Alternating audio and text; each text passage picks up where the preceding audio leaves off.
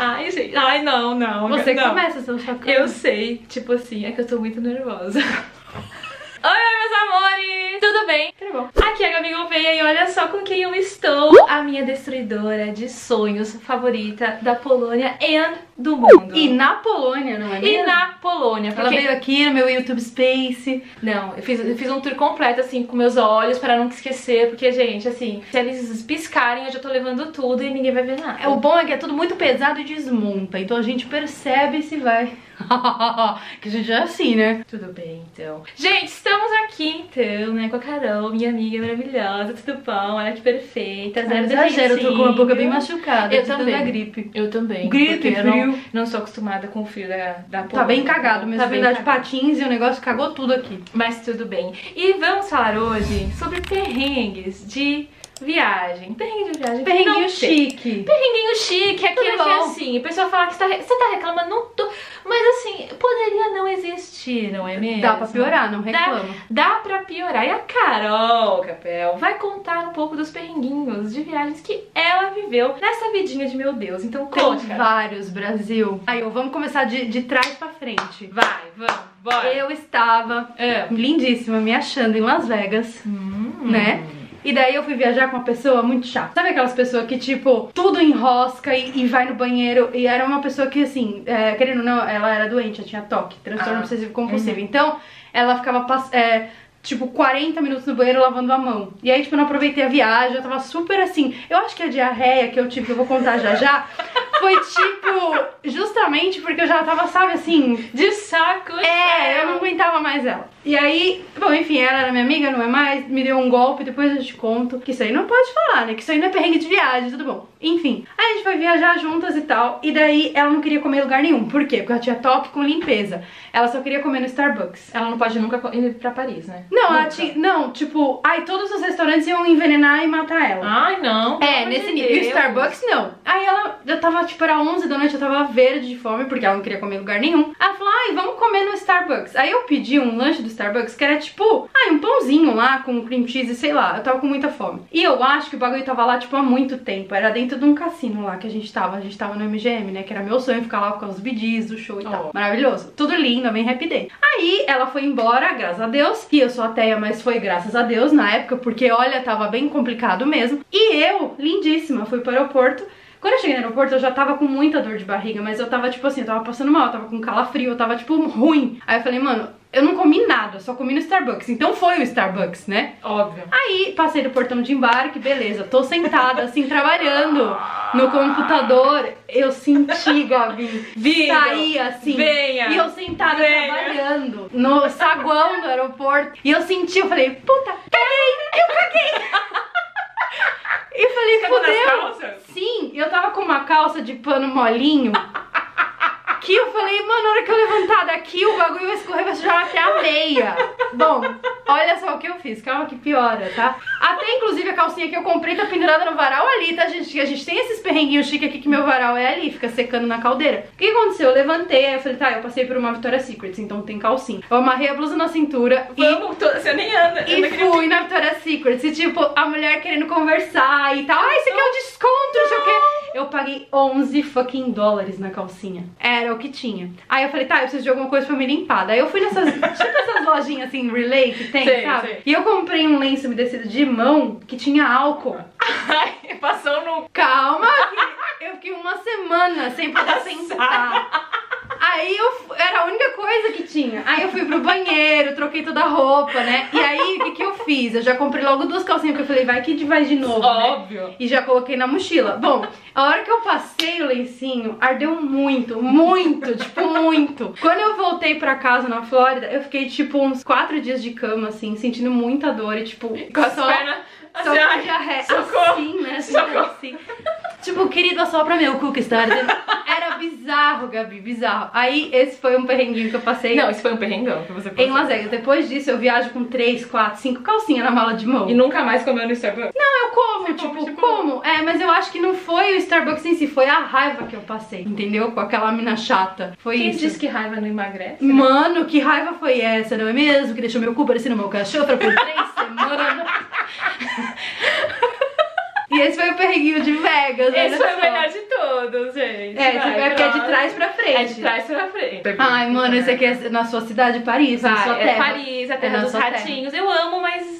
É na sua terra, Paris. Minha terra, Paris. É, no seu país. No meu país, Paris. O que aconteceu? Eu fui pra lá com o Eduardo Wizard, você conhece Sim, ele? sim, conheço. Tá, e aí maravilhoso, tudo. Aí eu falei, Edu, vou pegar um Airbnb pra gente, que a gente fica mais de boa, se a gente Ah, quiser fazer bagunça, gravar é essas coisas. Bosta. É. Aí pegamos o Airbnb, era tipo uma mini casinha que cabia dentro desse quarto que nós estamos Sim, aqui. sim. Aí tinha uma cozinha, tinha um banheirinho, tinha uma cama de casal embaixo e uma outra assim que subia Uhum, em cima. E era tudo bonitinho, sabe, Gabi? Aí na primeira noite eu comecei a ter muita coceira na perna. Muita, muita, muita coceira na perna. No dia seguinte eu acordei e eu tava com a. E não foi, não foi barato, não, tá? E era tipo bem no centro Não, não mesmo. tem Airbnb barato. Não tem Não tem nada barato, barato lá. lá. É, não, pra não ficar. existe, tipo, não você vai existe. dormir na rua Não se você existe, quiser é. barato. E aí minha perna inteira tava toda picada. Tipo, desde aqui da, né, da cintura até embaixo. Eu falei, mano, isso é pulga. Porque pulga, ela vai picando e ela vai picando em carreirinha. Vai, é verdade. Então, tipo, tinha um Ela vai aqui, um aqui, um aqui, um vai aqui, um aqui. Eu falei, É é, pulga, cara. É verdade. Eu falei, mano, que ódio, infestação de pulga. E eu não tinha o que fazer. Aí o que, que eu fiz? Eu passei na farmácia, comprei lavanda, que pulga não gosta de lavanda. E eu dormi besuntada na lavanda, de da cabeça até os Mas pés. você viu alguma? Não, não cheguei a ver. Mas era pulga. Aí no dia seguinte acordei mais picada ainda. Tava até a barriga, tava até as tetas de picada. E eu tava com muita coceira, muita. Eu, eu sou muito alérgica. Começou a empolar, empolar. Aí o Edu falou: Amiga, dorme aqui em cima. Aí eu subi lá na beliche do Edu e dormiu eu e ele na beliche, tudo amassadinho, ele num cantinho e eu no outro. Porque pulga não pula tão alto, então não ia pular lá Óbvio. na beliche, né? A sorte foi que a gente ficou tipo quatro noites e eu percebi, tipo, na terceira que era pulga. Eu mandei um textão desse tamanho assim pra mulher do Airbnb falando: Esse lugar tem pulga, não sei o quê. Ela, ah, je suis désolée. Eu falei: Je suis Je désolée, suis teu désolée. Que quem tá desolada sou eu.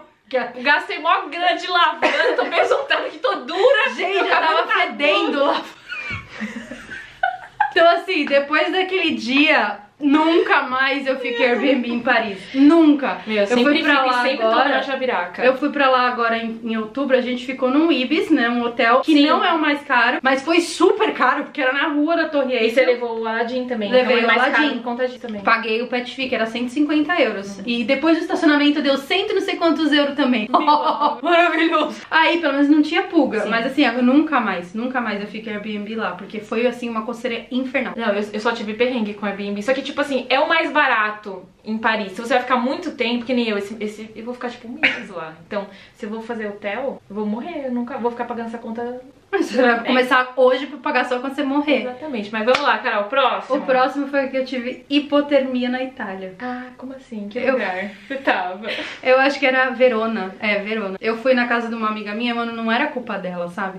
E tipo, ela é toda hippie, assim e tal. Ela falou, amiga, vem cá passar. Ó, Vivi, se você estiver vendo isso, não é culpa tua, tá? Sou eu que Ela sou te podre ama, mesmo. relaxa. Aí ela é toda hippie, toda maconheira e tal. E ela fala super devagar e ela é toda de boa. E ela falou assim pra mim, amiga, eu vou comprar pra você um colchão de ar. Falei, beleza, né? Por quê? Que, meu, se bota alguém pra dormir no colchão de ar aqui em casa, você viu? Tá super quente aqui dentro. Sim, Eu verdade. falei, beleza. Aí comprei uns pijamas lá no Primark, do Harry Potter e tal. Fui dormir com meu pijama toda linda, me achando. Deitei no chão, gente. Eu comecei a passar muito frio, muito frio. Por quê? Os aquecedores da Itália não são iguais os daqui, né? Tudo muito velho, tudo muito antigo. Então, Uhum. as coisas não, não esquentam. E a casa tinha piso frio e eu dormindo no chão. Enfim, eu levantei, botei tudo quanto é blusa que eu tinha e voltei a dormir. Não dormi. No dia seguinte, quando eu acordei, eu já ia pro aeroporto, porque eu só dormi uma noite lá. Uhum. Meu, eu tava com a boca inteira roxa.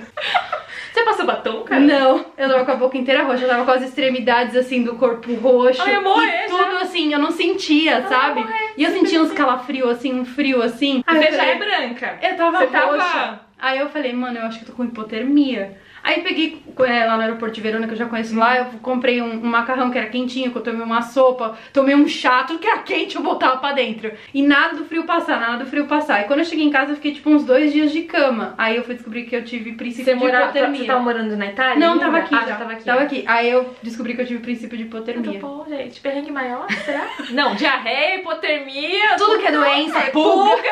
O da pulga foi foda. Não, eu- tá, tá, gente, tá demais. Ah, e esse é muito bom. Esse tem Vai. até vídeo no meu canal. Manda. Deixa eu ver se eu, se eu sei. Qual que É do, do Parque das Baratas. Você, óbvio que eu sei.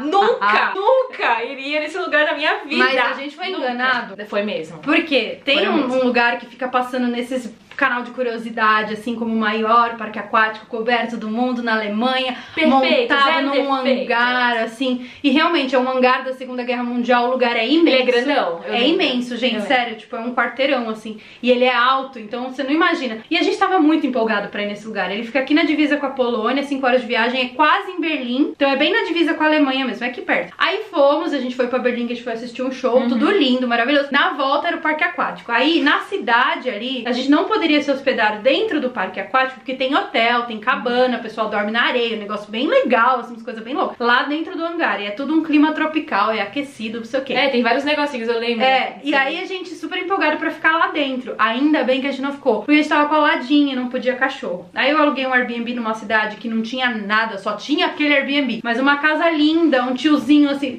Primeiro que o cachorro dele era o demônio. Ele falou: Olha, se a cadeira estiver aqui, você não saia de casa que meu cachorro vai te matar. Eu já até fiquei com medo desse cachorro. Eu falei, o senhor tem certeza que é um cachorro? Porque parecia, sei lá, um- um- uma fera, não sei, alguma Exato. coisa assim. Mas o tiozinho um amor, ele fabricante de linguiça, lindíssimo. Aí a gente dormiu, no dia seguinte a gente ia pro parque, a gente tava muito empolgado, a gente não conseguiu nem dormir, a gente acordou 5 da manhã. Meu, eu lembro. Porque o disso. parque falou que abria às 6 e 6 horas da manhã estávamos Eu nós, pequenininho, lá no parquinho. Lembro da, da cara do Marcelo, assim, tipo, mano. Mano, sério, aí a gente entrou assim e era tudo bem quente lá dentro, com umas plantas. Eu tinha uns Tinha uns pássaros. coqueiros, não tinha? Tinha uns pássaros andando pra lá e pra cá, que eu já fiquei com dó dos pássaros presos naquele Sim. domo. Mas até aí eu falei, ai, tudo bem, eu vou na piscina. Bom, chegamos na piscina, tinha uma piscina metade em reforma e tinha uns bêbados dormindo numas cadeiras de praia que tinha lá, que acho que não quiseram pagar o hotel, não sei, gente, sério, uns bêbados com umas malas dormindo ali na piscina. Aí o Marcelo falou, nossa, será que o povo tá dormindo aqui? Porque eu falei, ah, porque não quis pagar, porque era caro, era tipo uns 80 euros a noite pra dormir ali numa barraca de praia. Bom, aí eu fui subir assim numa tendinha que tinha pra ver de cima, eu vi uma barata na parede. Você Mas não era uma barata normal, era uma barata de- desse tamanho. Aí eu falei assim pro Marcelo, eu falei, na Polônia não tem barata. Aqui é mais norte que lá onde a gente mora. Por que que essa barata tá aqui dentro? Beleza. Falei, mano, eu vou, eu vou me Foi libertar disso, eu vou me tipo. libertar, deve ser por causa dos animais e tal, que tá atraindo barata, enfim. Só que não. O lugar, ele tem baratas de propósito. Eles foram lá no Suriname pegar uma, uma espécie de barata em específico nojo! colocar dentro do lugar, só que aí, tipo, meio que perdeu o controle, o negócio tem a própria biosfera, o negócio até chove lá dentro, por causa da evaporação das plantas, porque é pra servir de comida pros pássaros que estão lá, e tem, tipo, milhares de milhões de espécies. Então você imagina dormir numa barraca daquela de praia? nunca na Você imagina vida. dormir num Nem por hotel? um milhão de reais, de verdade. Eu Mano, e aí eu não a me dar umas coceiras que eu tenho medo de barata, eu tenho pânico de barata. Eu. E as piscinas tudo fechadas, tobogã tudo fechado, os restaurantes tudo fechado. Eu, eu fiquei pensando, mano, se tem barata. E tinha muita barata. Você pisava, as baratas saíam. Falei, mano, se tem você barata. já tinha aqui, pago pra entrar? Você Já tinha pago. Era 25 euros e você pagava mais se você ficasse mais horas. Que eles chamam de early bird, que é a pessoa que acorda cedo, né? Que a gente tinha ido bem cedo. Tudo fechado. O restaurante, um restaurante só aberto. Falei, mano, se tem barata aqui, imagina, deve ter barata na Óbvio comida. que tem. Aí nós fomos embora de lá, tipo, super estressado, super revoltado, porque nada funcionava. O parque aquático fechado, as piscinas fechadas, tudo em reforma. Aí vocês ficaram um pouquinho tempo. Não, a lá. gente, ficou, a gente ficou, tipo, a gente entrou, a gente deu a volta no domo e já Foi saiu. A gente se trocou rapidinho e saiu. Quando eu cheguei em casa, que eu fui olhar no TripAdvisor, tinha milhares de milhões de pessoas falando que, tipo, que a- tinha sete baratas no quarto, que a barata subiu nas costas, que tava na piscina e a barata tava boiando. Sabe assim, uma coisa louca. E a gente tava tão É empolgado. um lugar em si que eu não tenho desejo nenhum Eu fiz de até um vídeo detonando Fez lugar. mesmo. Eles me responderam, eles me responderam, falaram que as baratas são colocadas lá de propósito e tal. Mas, mano, é barato, o negócio se procria, ele vai se Nojento. reproduzindo. Não, nojento. Não tem pássaro ver- lá, precisa de pássaro. Meu, põe uns de plástico. É, põe uns negocinhos que se mexem. Ai, olha, bizarro. Tem, tem Vai. um na sua terra também, em Portugal. Vai, vai, bora. Minha vou ter que cortar essas minhas Não tosse, tem que eu tô produto. bem chata mesmo tossindo. Olha, é o seguinte, eu fui pra Portugal e aí peguei um Airbnb lindo. Em Lisboa? em Lisboa. Bem bonito mesmo, assim, uma casinha, tudo assim, é, tradicional ali naquele bairro, bem tradicional, que eu esqueci o nome, Albufeiras. Acho que esqueci o nome. Beleza, estava no Airbnb e tal. De repente, eu fui dormir, por quê? Porque eu tava com aquele meu amigo português que mora lá, sabe, sem Sim, canal. E tava também com uma amiga minha de. Moçambique. E a gente tava tudo conversando, eles foram embora, era tipo duas da manhã. E eu fui dormir. No que eu deitei na cama, eu comecei a ver uma fumaça entrar por debaixo da porta. Eu lembro disso aí também, esses stories, eu lembro. Eu E aí eu tava na cama bem do lado da porta. E aquela fumaça entrando e eu comecei a intoxicar. Eu comecei a tossir, comecei a tossir.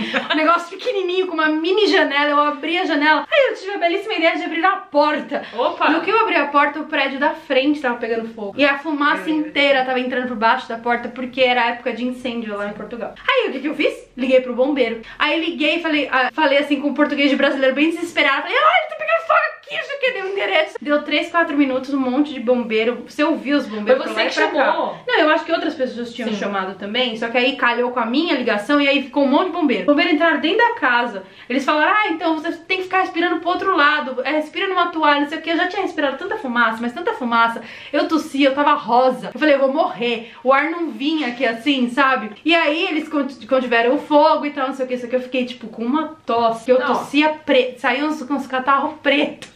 Por uma semana. Eu Não tenho com dúvidas trauma, disso. cara, de fogo. Não tenho dúvida disso.